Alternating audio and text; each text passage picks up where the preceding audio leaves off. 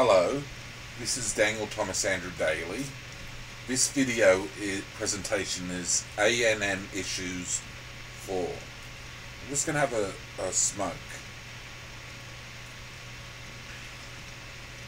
I'm going to try and speak um, a little bit more politely and eloquently in this video.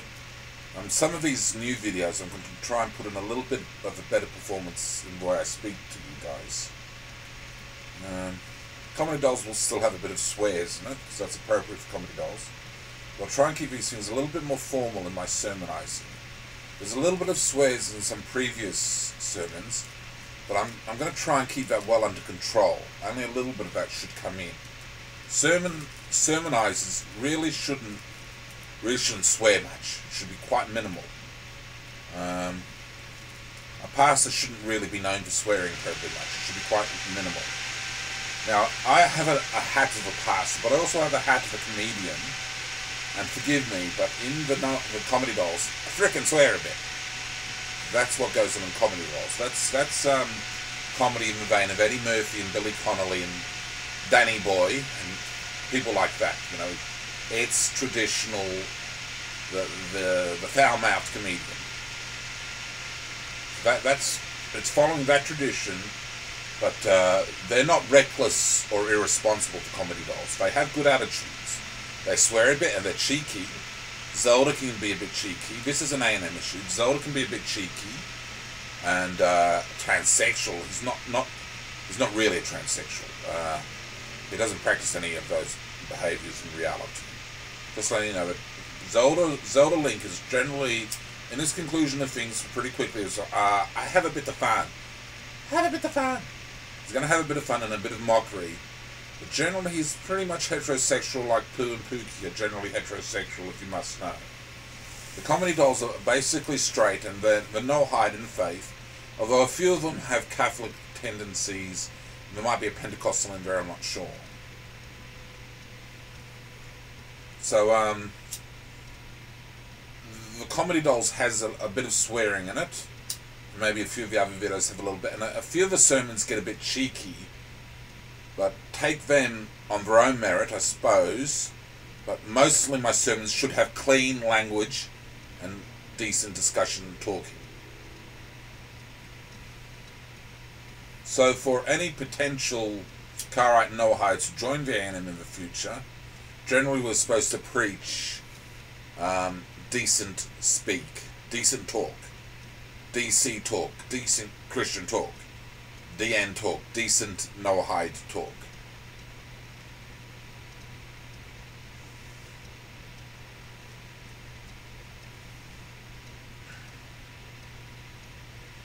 Now, um, religions, it's sensible for an iconoclastic leader of a religion, or an iconoclastic leader of a denomination or an assembly, even a, a congregation head, to pray over their flock.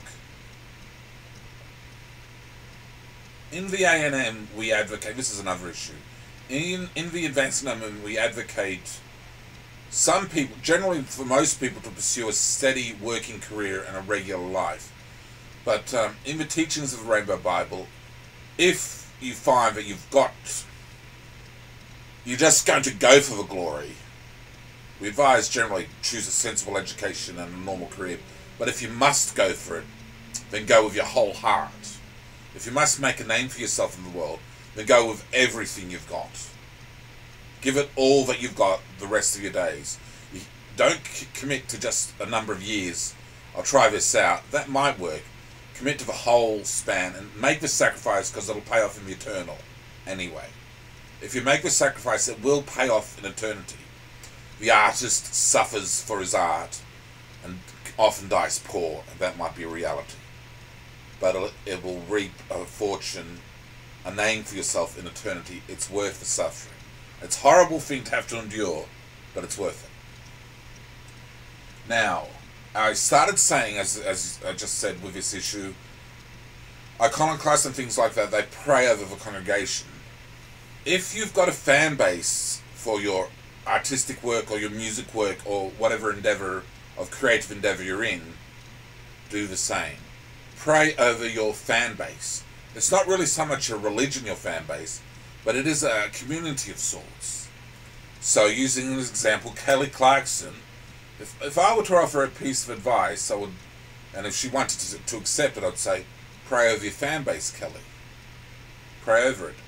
And in eternity, as we teach in A&M doctrine, people, you acquire your rights on earth for eternity, and your offspring, your heavenly offspring, which go down on further levels of your years which they're born on in heaven, years which you live on in heaven, they can acquire the same product that you acquire.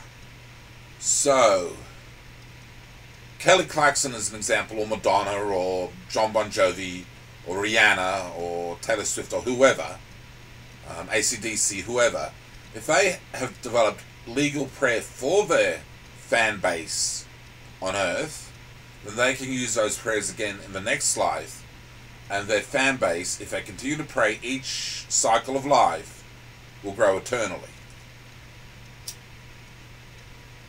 and it will probably grow well if they have decent prayers to God the Father. So, for those in the A&M who want to seek the glory, you can work on things like Facebook and YouTube and other places, and you can promote with basic ads your your thing, and get a little bit of subscribers and fans, and connections and uh, friends and stuff like that, and promote it to them a bit. Uh, even if you have to do it for free to start with, once you've built up a bit of a fan base of people who are working with your, with your work, who are looking at your things, pray over the fan base that you have to God, and it will build eternally in the next life. Some of those people will be inheriting the, the eternal. So pray over your fan base. So that's that's another A and M issue. Um, and generally, the uh, third issue is. Um, just talking again on the second Genesis ideas, I listened to the advice of the comedy dolls in the end, as I said in that video, and uh, Daniel wised up. Um, no, the Chronicles of Children of Destiny will just go on as the Chronicles of Children of Destiny. Now, the former structures of the Noahide books, the Angel Saga, how it's divided up, they exist historically in their time periods. So they're relative to their time periods, and the Spirit said to me that that the older websites, the older uh, pro, uh, older, every time you update, there's, there's a new website for it, which has got a an extra slash and probably a date or something of the update or something in the heavenlies. So there's there's an update. So those older structures of the Chronicles of the Children of Destiny exist, and of the Angel Sagas exist, and I think I'm getting fan fiction up there. So that's that's that's normal, but as of this part of 2017, March 2017 it's now pretty much the Chronicles of the Children of Destiny, and I think the Daniel wised up advice of the comedy dolls is probably the way it's really going to stay now. I don't really envisage it changing now. And finally, uh, world to come issues. Still ambivalent. I, I'm still ambivalent. Two two main thoughts which are considered. Yes, there's a resurrection coming up. No, there's not a resurrection coming up. Yes, it's a possibility because it's the Word of God. No, it probably won't happen in reality because it's just not realistic. And I'm of two minds. I'm not able to discern which is right and wrong because God won't keep it clear and He tells me that. He won't really give me a firm answer on that. So I don't know for sure. One thing I will make though as a general judgment is that if by the year 6000 in the, the Jewish calendar, the Hebrew calendar, if by around, oh, well, year 6007 or 8, something like that, no messianic figure appears to be on the world stage and no resurrection has occurred, even though I suppose theoretically that could be the birth date of the Jewish Messiah tradition, which should be the Archangel Michael in our tradition. Perhaps he could be born then, but um, and maybe he'll have 400 years according to two Esdras doctrines or four Ezra, which is the pseudepigrapha. So maybe he'll gradually come into his fame. But um, around the year 6000 and onwards, if Messiah isn't starting to become a bit of a reality, by then we're starting to let go, most likely, of world to come doctrines and passing it. Well, that's just bullshit. Probably never completely true. But until then, we can't really let it go as a movement. that's still considered. So, oh, let me see, that's about 200 odd years away, and there's 400 years of Messianic era, I suppose. Maybe they might argue a millennium, so.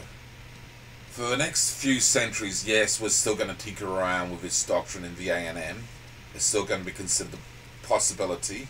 Might happen soon, never know, but it won't be let go of. If I live to like 80 odd, then in my lifetime, though, it's always going to be an issue. It's, just, it's always going to be an issue. Um, and something like Jeremiah 33, which teaches the potentiality for a king in every generation, well, there you go. But officially, resurrections of dead ideology, if by the year in, what it was 20, 2017 now, I suppose, well,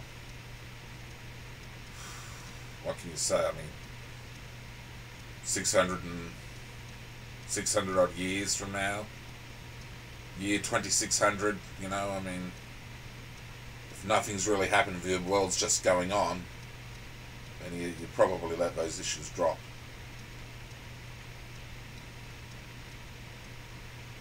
I mean, 200 years of until the year 6000 and then 400 years of Messianic Son of God ruling, according to 2 Esdras, and, you know, I mean, if, if nothing's happening, then, yeah, just never really true. Or it was just a resurrection to heavenlies from the time of the Maccabean period, which is celebrated by the Feast of Hanukkah when Daniel 12, Daniel 11 is supposed to be fulfilled, the culmination of the four beasts. So it's it's still got a few centuries in it of bite in it, this idea. But gradually, if, if nothing really does happen, then we probably just believe that, well, it's just heaven when you die. That, that should be the doctrine which takes over in Noahidism. The Jews were just bullshitting a bit, is all we would probably say. And I guess for Judaism, they'll, they'll probably face the same reality if Messiah doesn't show. Well, that was probably just bullshit. So, um, that's uh, A&M issues 4, and uh, that's pretty much it.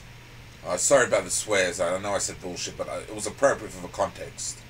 But like I said, I'll try and keep the language a bit better in future sermonology.